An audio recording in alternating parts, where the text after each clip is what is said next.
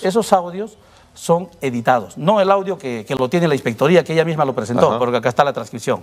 Pero los audios que lo ha presentado, él lo ha hecho para victimizarse, ¿no? Para victimizarse, claro, aprovechando su género de, de- de mujer, entonces yo soy la persona mala, el abusivo.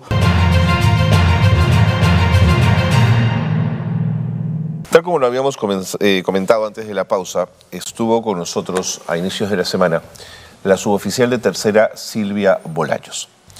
Ella venía y venía muy preocupada y, y muy alterada. En algún momento de la conversación eh, se quebró, lloró, porque estando en la comisaría de Siguas, en Ancas, en el marco de la pandemia, imagínense ustedes, todavía la cosa no estaba clara, había mucho, mucho temor. Evidentemente la policía estaba sirviendo y ordenando lo que había que ordenar en ese momento. Eh, recibieron la visita de un coronel, el coronel Guillén del Pozo, que llegó a la comisaría de Siguas. Y ahí, según el relato de la suboficial, se produce un desencuentro con el coronel. Un desencuentro que ahora vamos a escuchar la versión del coronel, por supuesto, según la suboficial fue autoritario y abusivo. Pero la preocupación de ella es que el proceso disciplinario continuó y hay la posibilidad de terminar con ella en la cárcel. Y esto la tiene a ella muy asustada. En esa entrevista le dimos la oportunidad al coronel Raúl del Pozo que viniera al programa para, por supuesto, conversar del tema. Bueno, el, el coronel ha tenido el, el talante y la hidalguía de estar con nosotros para conversar de lo que él también va a hacer sus descargos y su mirada de este tema. Coronel, le agradezco muchísimo que se haya tomado el tiempo de estar con nosotros. Bienvenido. Buenos días. Gracias por Este, estar con bien, nosotros. Gracias a usted No, por, permitirme dar mi versión. Y No, no solamente dar mi versión, sino desmentir las cosas que la suboficial de tercera en situación de disponibilidad, Silvia Bolaños Carrillo, viene a través de varios medios de comunicación y va variando su, su, su narrativa. Va variando, porque ella ni ella misma se, creo que se acuerda de lo que va diciendo. Vamos, ¿no? vamos, vamos con ello. En principio ella señala que cuando usted llega a la comisaría y les habla de la necesidad de, te- de tener que ordenarse, en fin, los, todos los temas que había que ver por pandemia, ella le dice, coronel, aunque no sé si era coronel usted en ese momento, sí, pero era coronel, era coronel. Le dice, coronel, eh, es que el COVID se puede transmitir también, según el MINSA, por los ojos. Y que esto a usted lo puso muy molesto, señaló ella.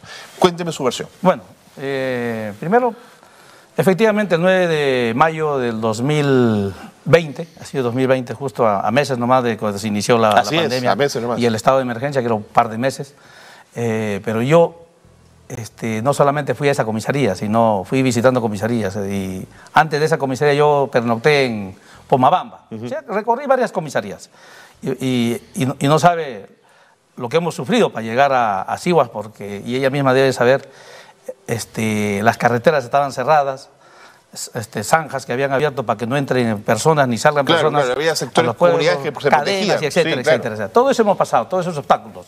Llegamos como a las 11, creo, si no me equivoco, de la mañana a, a Siguas.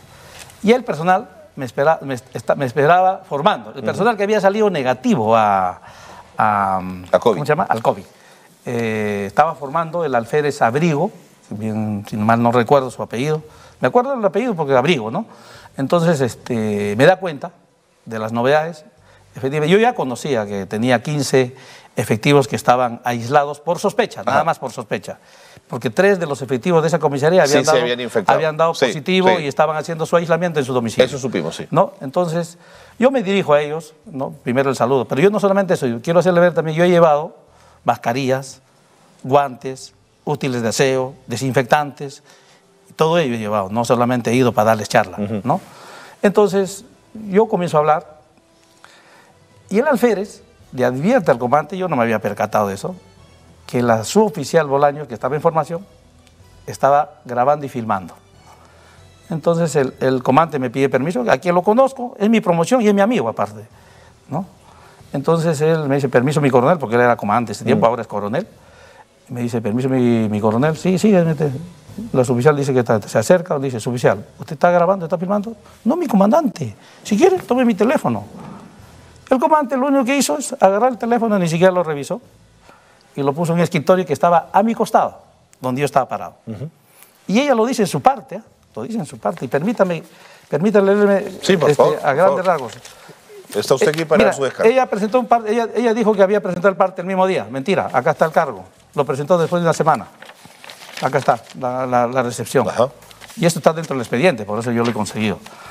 Aquí en su parte, ella dice un punto, dice, a ver, después de haber narrado todos los hechos, ¿no? Dice en una parte. Por otro lado, cabe indicar que momentos antes que se empiece la charla con el señor coronel PNP, el comandante PNP Juan Carrillo Torres se acercó a mi persona, el cual sin permiso alguno me sacó el celular de mi bolsillo, de mi, de mi camisaco y entre paréntesis pone altura de mi seno izquierdo. Así pone. ¿ya? Para lo cual me mencionó si estaba grabando, a lo cual le respondí. No dice si, si le dijo no o sí, nada más dice, al cual le respondí y le dije que podía llevarse mi teléfono, para cual el mencionado comandante empezó a manipular mi celular y como no encontró cómo desbloquearlo, lo dejó en uno de los escritorios. Ahí está claramente. Y, y sin embargo ella dice que se lo quitó, pero acá dice que se lo entregó ¿Habría sido, en su parte de ella. ¿Habría sido una falta que ella estuviera grabando? Claro, por, ¿Habría por sido un supuesto, yo soy un superior. Nosotros estamos No se sometidos... le puede grabar. Con mi autorización, sí. Ok. Y nosotros, mire, nosotros estamos sometidos a un régimen disciplinario. No, sin duda, sin duda. Lo- lo- lo- Y- no, y existe- no lo conozco, por eso existe, existe una tabla de infracciones que acá le he traído este régimen disciplinario. Ajá. Acá hay una tabla de infracciones, de, infracciones leves, graves y muy Y graves. hace hincapié en el tema de la grabación, eso está prohibido. No, y, y ella no le dijo, o sea, le dijo que no estaba grabando, o sea, ni siquiera, pues, ella podía haber pedido permiso, queremos grabar, yo Ajá. no había ningún problema, yo estaba yendo a dar una charla, no estoy yendo a dar otra cosa. De O sea, acuerdo. yo primera vez que lo había visto en la oficial, y a todos los que trabajan allá, nunca los había conocido antes. Ok. Y porque yo llegué a trabajar recién en el 2020 a Ovaraz. La actitud de la suboficial en ese momento, desde lo que usted recuerda, fue desafiante. Mire, yo, yo a, a grandes rasgos, ¿no? Entonces yo empiezo, ya pasado ese, ese, ese, Ese momento. ese momento, yo continúo. ¿no? Estoy hablando respecto a lo que señala, ¿no? Respecto a lo que señala, porque acá está en la misma transcripción, en la misma, de, la transcripción de su audio, de ella. Yo hablo, inclusive hago mención de la resolución ministerial número 145 del Ministerio de la Salud. Yo estoy hablando del Ministerio de Salud, los protocolos que están establecidos, no lo que, lo que no está. Yo no puedo decir otras cosas que no esté señalado en, el- en- en- en esta resolución y en los protocolos. Ahí no habla de, del COVID que entra por los ojos, pero ¿eso en qué me afecta? Si, si desean protegerse los ojos, hay que protegerse. Qué mejor cuando uno mayor. en esa época, inclusive, muchos se compraban su como UCE prácticamente para protegerse, porque no se sabía muy bien este, cómo cuidarse en este aspecto. Todavía estamos empezando recién con, con esto del COVID. Eso, ¿Por qué me va a molestar eso? Eso, eso, eso me preguntaba, ¿por qué se irritaría usted Claro, con una ¿por qué frase me de voy ese a tipo? irritar? Mire, yo, yo le digo, ¿en qué me afecta eso? Seguro que le interrumpió en, en el, El- el- relato. Ahí, ahí viene, ahí viene que, eh, primero cuando yo estoy hablando, ella me interrumpe, o sea, ni siquiera pide permiso para hablar. Yo le digo, oficial, me está interrumpiendo. Ya, pero dígame. que- y ella habla. Mire, le dije, ¿cuántas veces ha participado? Ya apareció una conversación entre, entre mi persona y la suboficial. Mira, ya, Silvia, mira, empezando, nomás estamos hablando. Mira, Silvia, Virginia Bolaños. Silvia, Bolaños Carrillo. Silvia, Silvia, Silvia, Silvia. Claro. Acá ya es donde yo le digo, a ver, donde dice ella, acá en la parte final ya de la primera hoja. ¿qué dice? Ya su oficial, ya, cállese la boca. Ya, deje que primero yo hable, le explique y después usted habla. Eso comentó ella, que usted ¿Ya? le había callado de una forma sola vez, autoritaria. Una sola vez, con, con el mismo tono de voz, nada más. ¿Y, yo- por qué, y por qué la cayó con él? no, porque me está interrumpiendo ya, no, no me deja explicar. O sea, ¿cómo? Entonces, prácticamente, entonces, que ella explique, entonces. Era ¿Cómo? reiteradas A- las interrupciones que ella hacía. Aparte, yo soy un oficial, o sea, de mayor, por lo menos ese respeto, esa, esa, esa preferencia. E- Ella sabe que nosotros, estamos, nosotros somos una institución jerarquizada. Yo no le puedo cortar al general cuando está hablando, no le gustaría a nadie, creo. Entonces, pero después le di, nuevamente. Ok. Nuevamente le di, ahí está, comienza a hablar ella.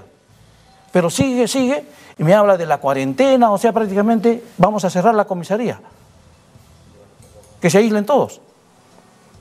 Y, yo les dije, y acá está, yo les dije, mira, el primer infectado en la región Ancas, de los policías, fue en la región donde yo trabajaba, y no nos hemos aislado todos. Los que habían tenido contacto directo pasaban su prueba y todo eso. Y normal, los que han salido, pues si salen en sospecha, se aíslan, ¿no? ¿Usted interpreta que el sentido de sus reclamos tenían que ver con temor, con el miedo que estaban viviendo, Bueno, ella- con el momento ella- que estaban ella, pasando? claro, ella lo que. de- ese es un. Algo subjetivo mío, ¿no? O sea, ella lo que pretendía, porque no lo dijo directamente, pero cuando habla ya, de el, médico dice que le había dicho, ah, ella habla, el médico dice que le había dicho que cuando se infecta uno, todos deben ir en cuarentena, ¿no? Eso no sé de dónde lo he sacado. Y ella habla de que ha tenido una charla del MINSA, ¿no? Y que donde le dicen que entra por los ojos, en ninguna parte. Y los efectivos generales nunca me han dicho que hayan recibido charla alguna. o sea, eso, eso es una falsedad.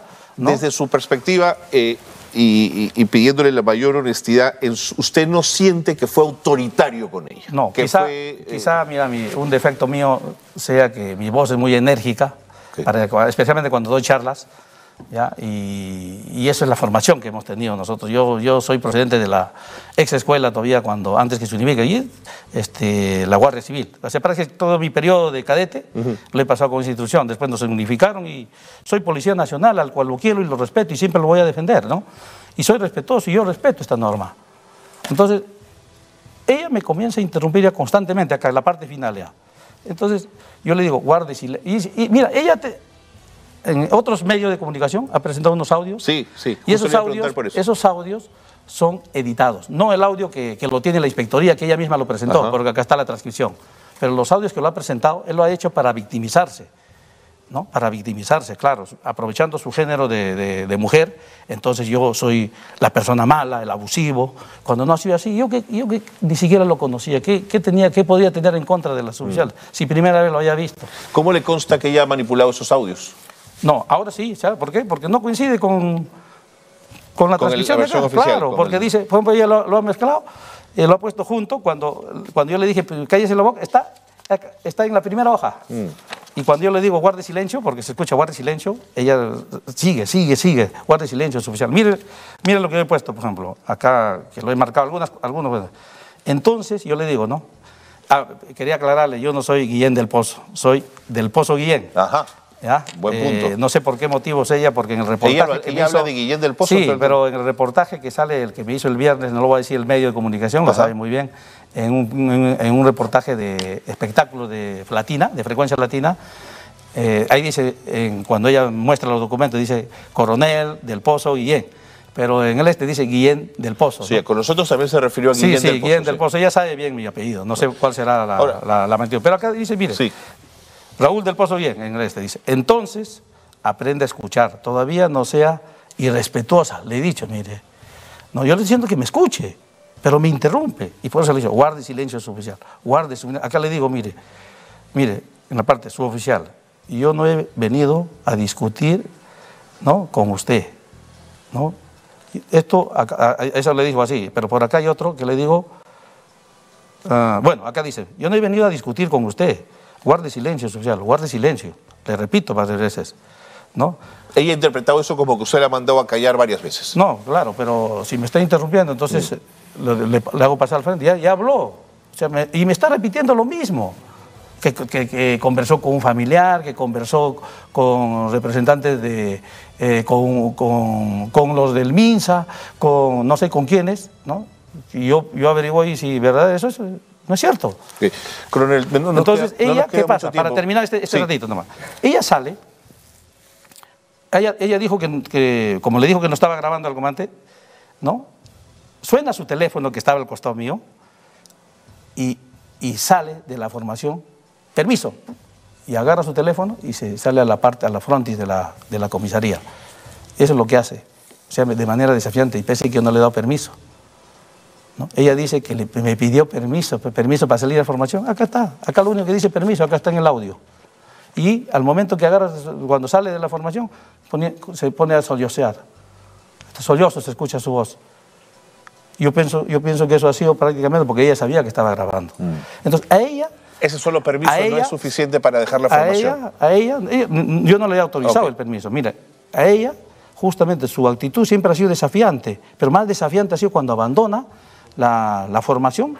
Y es por eso que lo sancionan a ella, no porque haya dicho, como ella está haciendo ver, que porque opinó distinto, que, mm. La sanción porque es... Por su actitud desafiante que está en la tabla de, ante un superior. De acuerdo. La pregunta... Y, ¿Por qué? Porque se salió de la formación sin pedir permiso. Exactamente, ese, es lo más grave de su actitud que ha sido de, ella. Coronel del Pozo Guillén, no nos queda mucho tiempo, pero quería preguntarle, lo siguiente.